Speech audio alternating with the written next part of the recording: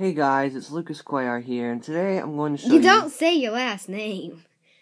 I don't care. Now, today I'm going to show you how to. Excuse me. Uh, Today I'm going to show you iOS 4.2.1 compatible apps. Woo, Now. spooky! This is obviously an iPod Touch second generation. It is non jailbroken. spooky! So, um, I will spotlight search Cydia. I'm sorry, my little sister's being a little brat right now. See, there's no, No, you wanted me in this video. You wanted me in this video.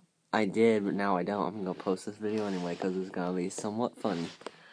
Now, obviously, there's no Cydia, and You know it's past Halloween. I just realized that, yeah, it is. and I shouldn't be saying spooky. Eh! It's not even Thanksgiving. Now you can obviously see. Some people don't celebrate. the firmware is iOS 4.2.1. So, um, I will just do a skim through. I'll let you read the apps. Now, first app Hell is yeah! text is TextNow. Now, I know that it used to be compatible on the iPhone 1, but then it requires iOS 4.3, so I'm not sure if you can download an older version, but all these apps do require an old version. So I'll just let you read all of them. Yeah. I'm bad at this. Okay, here's the next page.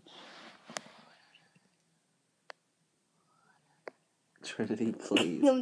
By the way, Instagram, it, it does download, but the problem is, um, it does not log in or sign up. So I'll just do a random done. Can I put my hand I can't press the word done. One sec. And then it says that your version of Instagram is out of date. Please up, and that requires iOS 6. But as you know, the iPod 2 does not even support iOS 5. Man, that sucks. Yes, it does, and you own an iPod 2, so you should know. Shut up. So, um, next It doesn't have a camera. is well, no, duh. I'm sorry. if they didn't, what if they didn't pay attention to the beginning of the video and they didn't know it didn't have? Well, then they could scroll back. Now, You need a- anyway, you need an intro. You need to make an. anyway, so, um, now starting with that. this is the next row of apps.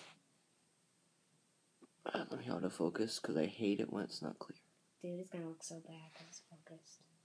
No, it's not. You have to download those apps on mine. Yeah, I know. It's pretty sad. I have an iPod too. And it's, well, like it's any sadder for me. And that's Titan Downloader. Now this, you use an iPod five. yes, that would that in which I'm recording Don't right now. use an iPod two. It's just don't. It's crappy. Well, no, duh. This Really thing crappy. is like a billion times better than the iPod 2. By the way, guys, while that thing is loading for like 10 years, no if you- camera. if you can't, No, yes, no camera. No camera. If you can't really see because this thing is all scratched up, but You could see me. But I'm Hi. but I'm recording with an iPod Hi. 5. Oh.